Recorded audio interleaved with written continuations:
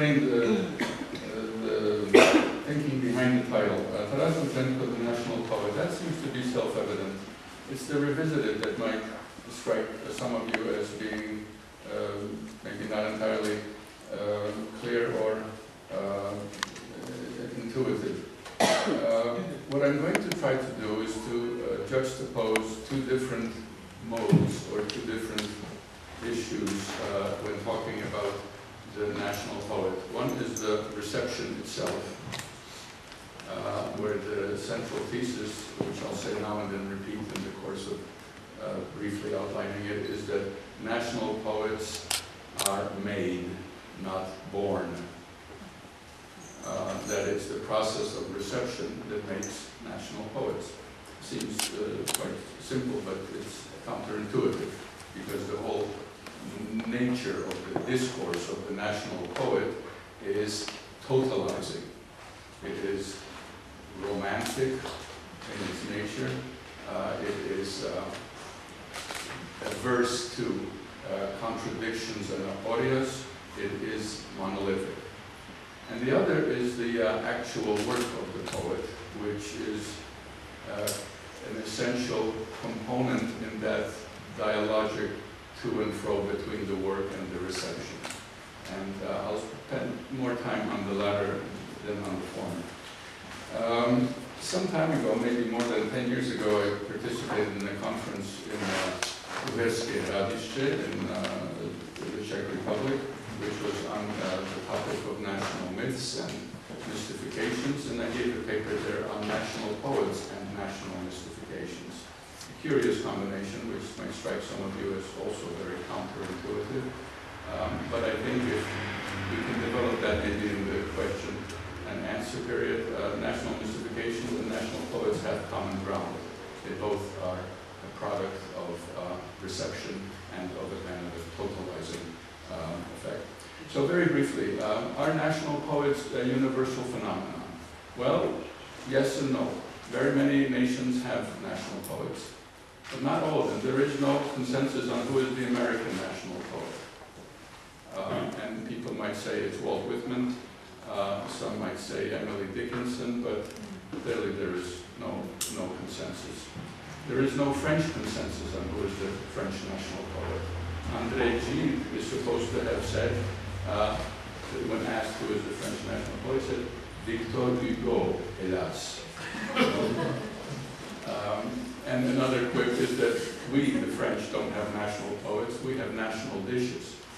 Uh, uh, the um, bilingual country uh, like uh, Canada would probably not have a national poet by definition because there's a French and, and an English component. the same applies to Belgium. Uh, but there is a, a tendency, especially in the Slavic countries, to uh, there's, a, there's a pronounced presence of, of, such figures. And they have a sublime role. Uh, they uh, exemplify the national identity. Uh, they are empowering images. Uh, and they are all more or less products, especially in Eastern Europe and the Slavic lands, of basically romantic poetics and of various processes of nation building.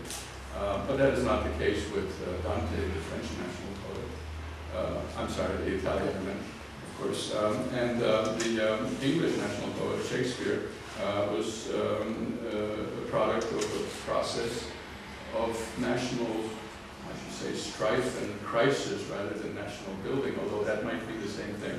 Uh, one of the sidelines of this is that national poets may be subsets of national heroes. And therefore, uh, the French don't need or there is no room in French culture for a national hero, uh, because in the period when these are made, for the Napoleonic period, it's Napoleon who occupies that role. Similarly, in the American experience, it is either George Washington or Abraham Lincoln, and uh, the function of uh, Walt Whitman is decidedly secondary to these larger-than-life figures. Uh, but leaving the uh, anthropological or the cultural writ large aside, in the purely literary mode, uh, the question may also follow or be a, an extension of a very powerful poet of the early 19th century who created the model for the various Slavic national poets, and that is Byron. Uh, the Byronic impact uh, is, I think, uh, quite pronounced. It's something that separate study. Uh, I will just mention a few moments here. The whole question of political dissent, uh, involvement in the liberation struggle, uh, social criticism or a profound uh, impact on uh, the, providing a social critique, uh, a sense of creating a personal mystery around himself, and uh, um, uh, and also indeed projecting uh, kind of aesthetic subtlety and uh, in, in, this case, in Byron's case, refined, dandyism becomes a, part of the paradigm. Certainly this works for Mickiewicz and for Pushkin. And in various ways this problem has been treated. Whether this can be made to apply to Shevchenko, yes, I think that despite the apparent differences, um, uh, that, that would obtain. In any case, as far as the East uh, European or Slavic context, the three figures that are closest to my research and that I focused on in this um, paper some time ago um, were uh, Mickiewicz, Pushkin, and Shevchenko. And curiously, they all follow a similar pattern or, or analogous stages of apotheosis of the bard and the martyr and indeed the prophet. They certainly all become massive cult figures and they epitomize uh, the national uh, spirit.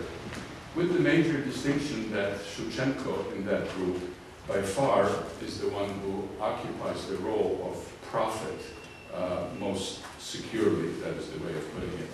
He in, in a way that differs even from the very powerful and cultic role that was uh, acceded to both uh, Mickiewicz and uh, Pushkin in their societies. Um, he really does become a kind of secular religious leader. Um, uh, the, the, uh, the numinous or the religious dimension of his impact, I think, is, uh, is evident, and this is something that I will refer to shortly. Um, the, uh, some of the mechanisms that uh, apply to the creation of, or the making of national poets in these uh, societies, uh, not speaking about it universally, um, is that uh, they all follow a certain thematic pattern. That is to say, uh, Mickiewicz and his uh, Pan Tadeusz, Pushkin and his Boris Godunov, um, Shevchenko and his Haidamaky, intuitively seemingly intuitively, uh, with a higher sense of purpose, uh, focus on a historical experience uh, as that which creates a nation's ethos. Um, and through that, they lay claim to speaking for the entire collective, for the nation itself. Um, it's not only through that historical or collective experience, but it's primarily that. Certainly, uh, um, in Shevchenko's major political poem, um, uh, the, uh, the Epistle, um, when he says, he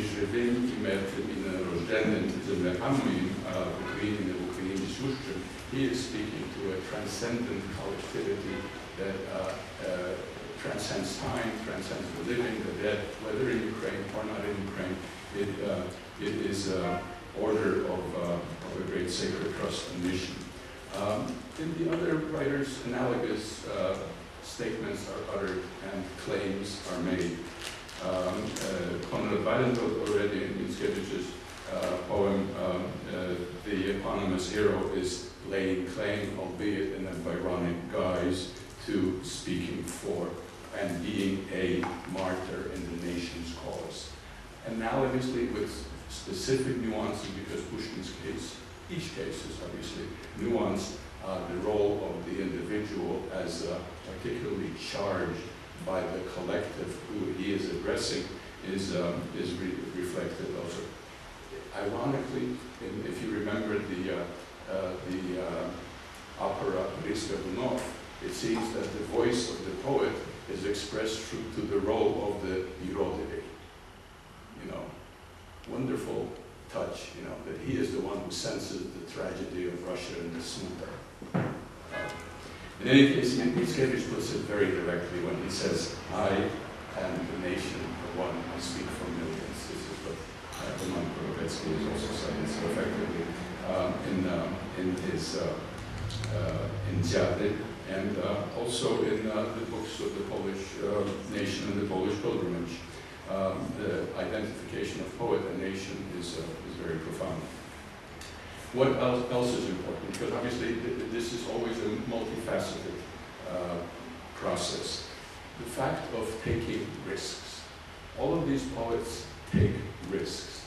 Most uh, directly, Pushkin, who goes out and has too many duels and dies in one of them.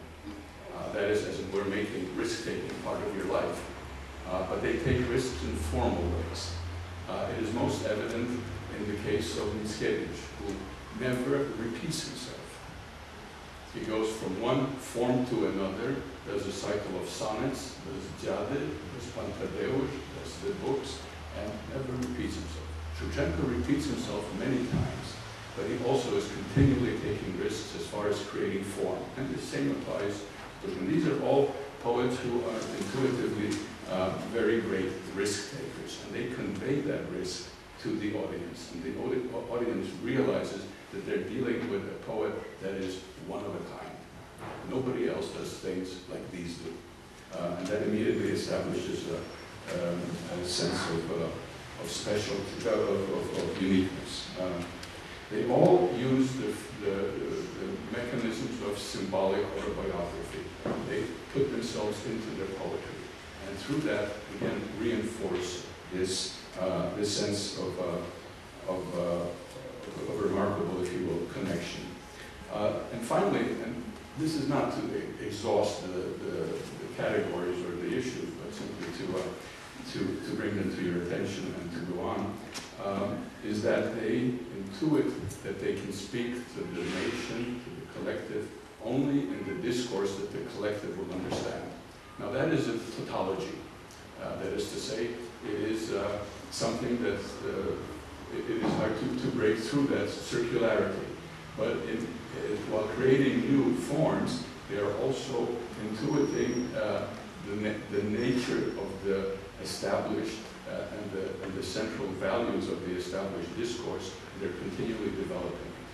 Um, so uh, uh, you can immediately postulate what things would not be appropriate and what, what are. Uh, let us turn now specifically to uh, Shevchenko. Um, what is peculiar about Shevchenko's reception, because we're still on the reception part of things, um, uh, that I want to, to, uh, to, sum up here, is that his, uh, um, and, and, there are parallels between him and Mickiewicz and Pushkin here too, is that his, the reception of his first uh, was remarkable in its um, uh, and its totality. Uh, what I mean by that is that um, it um, uh, was given to the censor uh, in uh, whenever it was in, in, in, late 1840, I'm sorry, in the beginning of 1840, and Korsakov, the censor, passed it in the sum of zero days the very same day that the poem came to, the, the collection of poetry came to the censor, he signed off on it. Uh, and then they backdated the time when the poem, when this, uh, when the collection was submitted. So it came sometime in March, he backdated it to the 12th of February, and this is how it given. There was, in other words, and this is reflected also in the uh, uh early responses, which were very uh, substantial. Um, uh, all the major uh, journals of Petersburg uh, responded to it. You know, by Mayak and and um, and um, Zelenaya Pchela and Biblioteka and so on. Um, all, virtually all of them were stressing the fact that Shevchenko uh, was a very uh, promising and very powerful poet, even though this is the first, uh, the first collection. It was a presumption of quality, in other words. That has a concrete reason. Shevchenko was already known as a student of Bryullov, And Bryullov was seen as a painter of genius. And a painter of genius must necessarily have a student of genius. So there was a kind of a presumption of quality from the beginning. Um, the, the, a leitmotif in these early receptions um, was also why is he writing in a language which some of us don't understand. You know, uh, this is a writer with such talent should be writing in Russian not in Ukrainian. But the presumption that this is a very powerful poet was there from, from the outset. Um, to jump ahead uh, and to see the impact of his poetry not only on the Russian reviewers, because many of them were not entirely um, uh, attuned to the full range of the texture of poetry, uh, but if we think now how the Ukrainian reception went and how we now read um, uh, the uh, Kobzar, uh, I would just want to note three or four moments that set him apart immediately and, in a sense, totally. One is that this is a poetry that uh, articulated, uh, was seen as articulating the voice of the people. We've heard that already.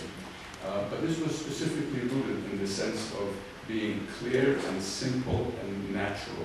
As Kostomarov later said, it is the way people would speak if they could speak the way that Shevchenko speaks. Uh, at the same time, curiously, this was a poetry that was, in a formal way, highly sophisticated. Uh, it controlled its diction, it used poetic imagery and intertext in various subtle ways, and only a few of the contemporaries actually caught that. They knew that this was very good poetry, but they couldn't see all these moments. And it's only much later that we saw poets, not only Ukrainian poets and critics, uh, uh, tuning into and appreciating uh, Shevchenko's sophistication uh, as, uh, as the years went on. Um, Mandelstam, an outstanding Russian poet of the early 20th century, a great fan of Shevchenko's, also for this uh, sense of great poetic mastery and sophistication. A poet who, in a way that was absolutely unique and unprecedented, as far at least as Ukrainian poetry is concerned, uh, established the presence of his own individual voice. Uh, his contemporaries didn't do that. They were not confident enough, they didn't have that component to them. Uh, from the very first lines of Shevchenko's published poetry, uh, there was a sense of a personal voice, of a presence, of a psyche that is working on the reader. There was a poetry of intense emotions and intense cathexis. You were going through an experience. The poem was not just a text, it was an experience that was lived, and people were uh, very much uh, uh, affected by that. It's a poetry that drew on archetypes. I spoke on that at a separate occasion, so uh, in Antesha, so I don't want to belabor it today, but it's a poetry that from the earliest, from that Prichinna, and then from Katerina, and then as time went on, even more so, Perebendia, uh, that is drawing on cultural and deep psychological collective archetypes. And even if you didn't know the term then, most people didn't because the term was coined and developed by, by Gustav Jung in the early 20th century, but the phenomenon was always there. And this is what he was making the basic building block of this, of this poetry. It was a poetry uh, which also involved the personal self-injection of the poet into the collective canon and uh, especially the collective, you will, uh, uh, uh, the, the, the, song, the, the, gathering of the of the writers, that is to say, into the uh, the canon, that is to say, among the, the greats of the literature. Not that there were that many, but he was already projecting himself into it. So two such poems as Nadično pamet Pozarevskomu, Grozno Janenka, and Hovoru, this young poet was already saying, I'm, I'm on par with them. It was very bold. It was very self-assertive. And anyone who read it could not but see that this is not just a run-of-the-mill poet. This is somebody who is arrogating to himself this uh, potential and this power. As Harold Bloom says, strong poets speak strongly. You know, this is, this is their nature. Uh, it is a poet, that, he was and is a poet who projected deep mythical constructs, and with that, the realm of the sacred. And this is what I want to now uh, develop uh, in the time uh, remaining. Uh, we begin to see how Shevchenko does his complicated task of um, forming both his agenda and forming the reader in the poem Haidamaky, which was already discussed earlier today by uh, uh, Roman Koropeckyj, and which perhaps in our discussion we can also refer back to it, um, where you see any number of these moments already being developed in the poem. The, the, the focus on its uh, uh, sophisticated presentation. It's a poem that is narrated by two voices, with many digressions.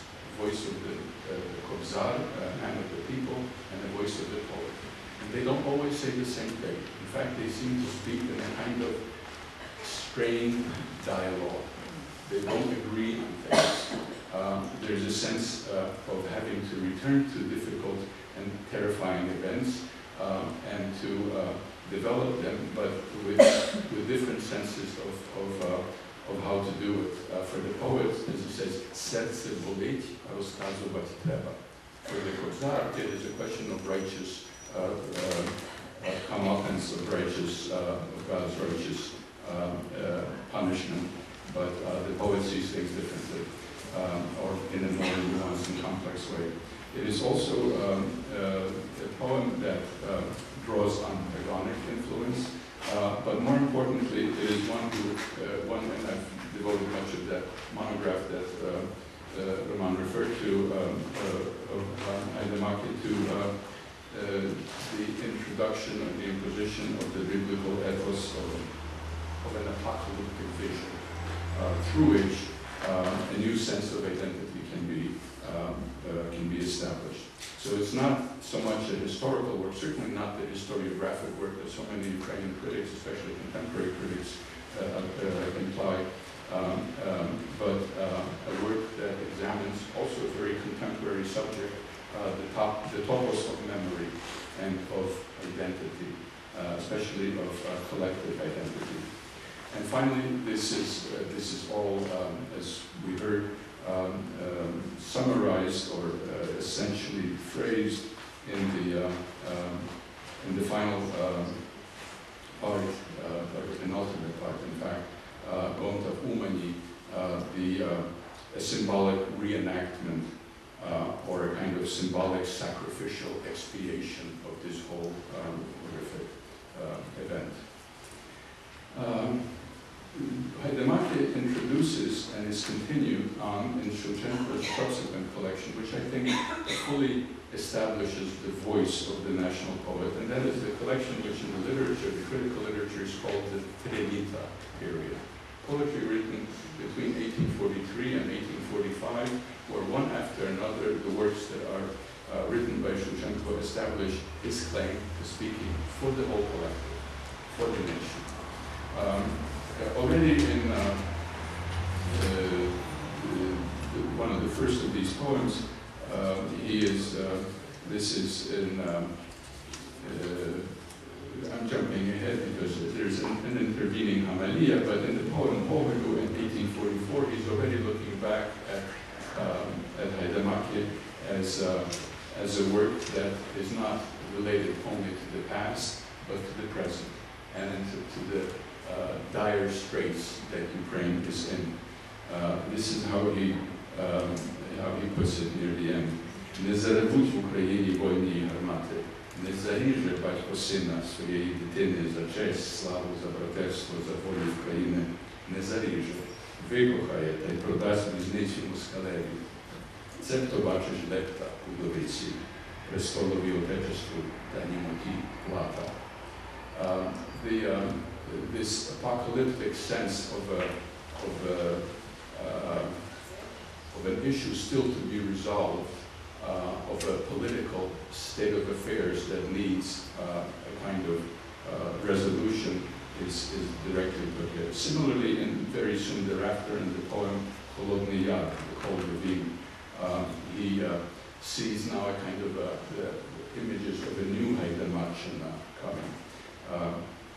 Uh, he says uh, that over this Holodny Yar, the, the actual physical ravine where the Haidamaks gathered, there is the shadow of, of uh, Gonta and Zalizniak. It says, Nad Jarom Zalizniak vytaje, i na Gontu.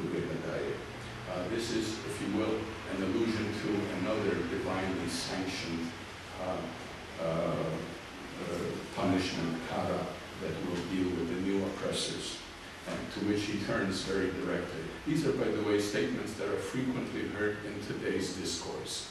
Uh, even before the events of Maidan of February and middle of January, I remember when speaking about Haidamaky last year, my colleagues here can confirm this. Uh, people from the audience were saying, but you must also remember that the Haidamachana is something that is alive today.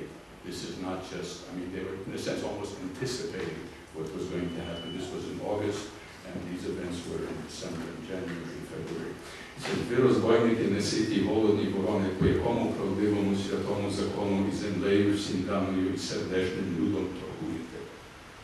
Стережіться, бо лихо вам буде, тяжке лихо. Дуріть дітей і брата сліпого, дуріть себе, чужих людей та не дуріть Бога. Бо в день радості над вами розпадеться кара uh, the sense of the apocalyptic, uh, imminent uh, accounting is, uh, is very powerful. Um, uh, I suppose the, the poem that uh, one, not to, to spend too much time on, on because there are many and they create a kind of interplay and a totality and of course needs to be noted that this was poetry that was at that time available only to the very few that were his friends in cognoscenti and, you know, let's say closely aligned, because this was, could not be published. This could not be submitted to the, to the censor. But it was the reason that he was sentenced, because they found this collection on him. And it was already alluded by uh, uh, you know, this was the reason. But there is, again, a certain nuance here, too. In any case, uh, perhaps one of the more striking poems of this collection uh, is uh, Veliki Loch, uh, the Great Crypt, uh, presents a kind of symbolic vision of the coming Armageddon. And characteristically, it is between two different sides of the Ukrainian spirit or the Ukrainian psyche. Two twins, the Gonta and his antipode. Um, and uh, uh, and there, uh, however, at the same time, there will be, uh, uh, as he sees, stane. I mean, this is independent. The poem, which is called Stoit Sili Subotovi, Domovina Ukraine. You know, it's a wonderful poem, I couldn't say, you know, but anyway, it, it ends with Stane Ukraina і розвіять му неволі, світ правди засвітить, і помоляться на волі невольничі діти. Um, the poem that sums sums it all up, of course, is, uh, is uh, Zapovit, um, uh, and um, it does have echoes also of the uh, Certainly when he speaks of the, um, uh, you know, Ivražoju svoju you know, this is an echo of that, if you will, archetype of both uh, uh, biblical punishment and of uh, sacrifice, which is becomes a kind of uh, purgation and uh, self-cleansing. I would like to note uh, in conclusion that, that there's, there's another process of purgation that is going on, something that was not apparent to the contemporaries and is still not apparent to, to the people, the readers of Shevchenko today. Because one of the essential moments in Shevchenko's maturation to the role of a national poet and a national prophet was his own internal purgation. And this is the poetry of exile and what in psychoanalytic, especially Jungian terms, would be called confronting the shadow. The shadow is that all of those negative and hostile and destructive elements that are within each of us and also in various situations that exist in life. Prison, exile, revolution, pogroms, these are the shadow. And this is what Shevchenko works through.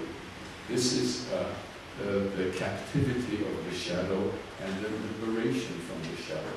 And if you read the poetry of exile very carefully, you will see how often he returns to it and how important it is to, as it were, free himself from uh, these, uh, these feelings and in a sense to emerge uh, transformed and healed. And that is how uh, he does. Uh, he emerges in 1857 as if he writes of it, as if he remained unscathed. It's not really so. There was tremendous scars that were left. But the image and the self-sense of the poet is one who has emerged from that darkness, from that shadow. It's very characteristic that in that diary of his, which he kept from 18, um, uh, from the time that he learned that he would be freed from exile in uh, uh, late April of April of 1857 to 1858. Uh, he also, for a short while, allowed it to be a scrapbook. So when he was released from from prison, uh, from, from exile and was in Nizhny Novgorod and then went further on, he would allow people to write various things in there. And one of the things that was written was by a, a real admirer of him, a Pole, who uh, wrote in it a very short little thing saying, Wielki święty wieszczu malruskiej literatury, dedicated to the great holy wieszcz, or poet, national poet of Ukrainian literature. It's remarkable that already his readers were realizing that. Uh, this too is part of the growth and the development of the national poet, and we're beginning to uh, address it, I think,